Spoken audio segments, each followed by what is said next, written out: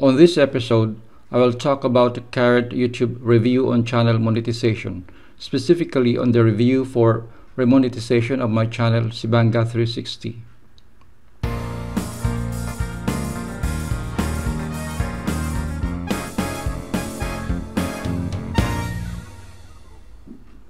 Hello my friends, welcome to our channel and you are watching a short discussion on the update on review of our small YouTube channel. The current and first result was what I really did not expect and was totally disheartening. Instead, it is more of a gross letdown on our efforts. In fact, it doused iced water on our expectation after having waited long enough since the channel reapplied for review last March 2018. After March 14, 2018, when our channel attained 1,000 subscribers, we became excited that very soon the channel review and then its approval to regain monetization will not take that long.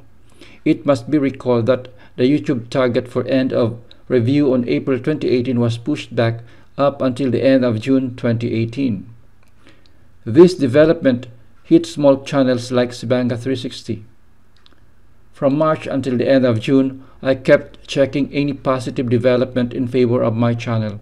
My excitement was thinning and patience is being stretched. I was looking forward for that most awaited day of July 1st. Today, July 4th, I checked my monetization status and still it remained demonetized or unmonetized.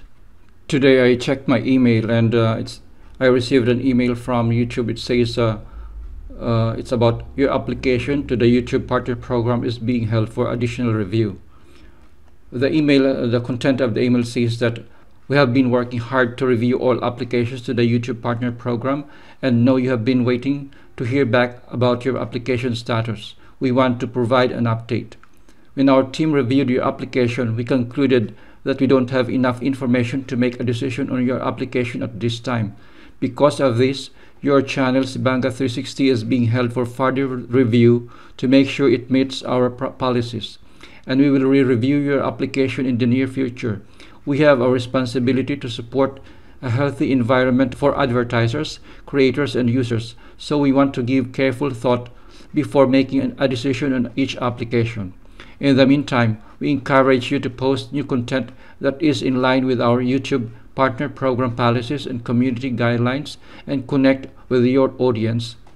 This additional content will make it easier for us to make a decision about your YPP application. We know that acceptance for the YouTube Partner Program is important to you and apologize for the additional wait. We appreciate your patience as we continue to evaluate your channel, the YouTube team. I have no idea what more the YouTube reviewer wants from my channel. For the month of June, it attained 145,665 watch time minutes. The channel now has more than 1,676 subscribers and counting, and channel views of 333,878 or more as of this posting. I am thankful to my viewers, subscribers, and non-subscribers for giving me that confidence which YouTube seemed not to share.